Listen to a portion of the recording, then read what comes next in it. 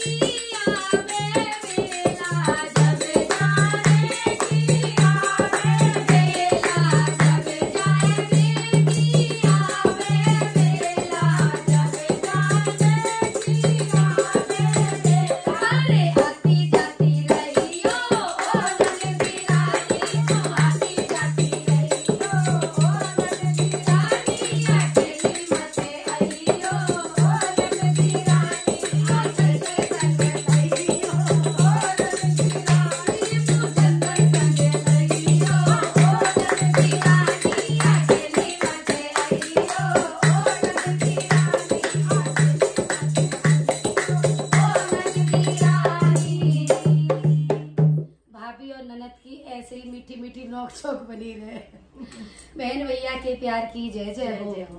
भाभी की भी जय जय हो।